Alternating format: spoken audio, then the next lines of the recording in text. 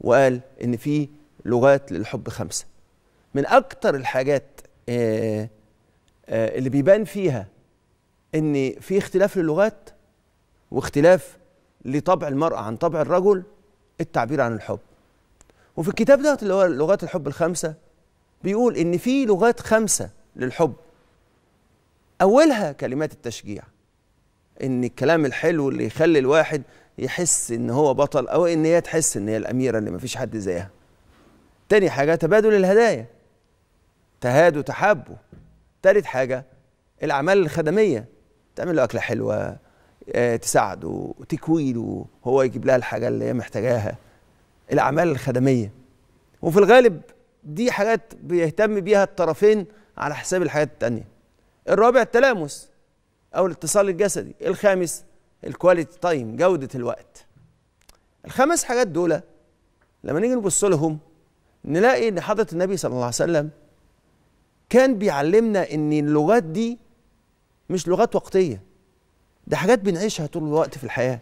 شوف رسول الله صلى الله عليه وسلم لما يدي وقت خاص للسيدة عائشة بس يدي لها وقت بقى مليان حب مليان شغف. فإيه اللي حاصل؟ فيسمعها لغاية ما تخلص الحكاية بتاعتها.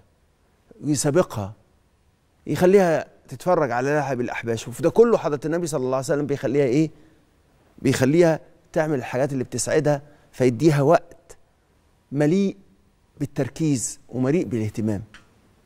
أحيانا الزوجة بتشوف إن النموذج والمعايير كلام في كلام الزوج فتعرف إن لازم يبقى فيه ضوابط ولازم يبقى فيه معايير. فمثلا لو شافها مش حلوة تشك في نفسها. فهو لازم يقول لها كلام حلو. وتشوف إن هي مش حلوة. فهو لازم يقول لها كلام حلو عشان تقدر تحافظ على وجودها. تقدر تحافظ على أمانها. فلو هو ما قالهاش كلام حلو بتحس إن هي مش أنثى. بتحس بالتهديد. يبقى هي محتاجة كلام حلو. وإحنا بنتكلم عن لغات الحب لازم كمان نفكر ونميز بين أنواع متعددة من الحب. إحنا عندنا أنواع كتيرة من الحب. منه مثلا حب التملك. على فكرة في نوع من الحب اسمه حب الحب. يعني إيه اللي حاصل؟ يعني أنا بحب الحالة نفسها حالة الحب. بس في حب اسمه حب التملك.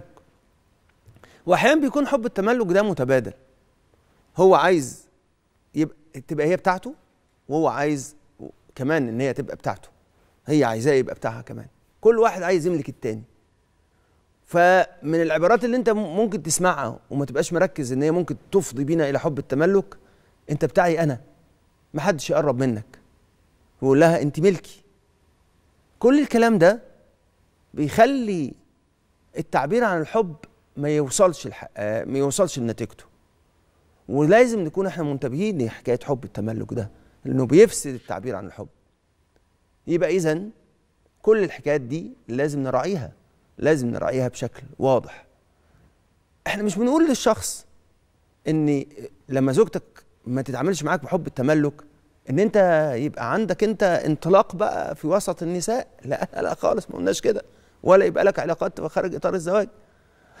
ولا إن أنت ما تملكش زوجتك فزوجتك كمان آه تبتدي ما تمارسش الطاعة ال- النبيلة في البيت. لا ما حدش قال كده خالص. بس إحنا قصدنا إن كل واحد يبقى حاسس إن هو بيعيش مرتاح من غير ما التاني يملكه. ويعيش بطريقة مرضية. يبقى إحنا لازم نفهم كده بشكل واضح.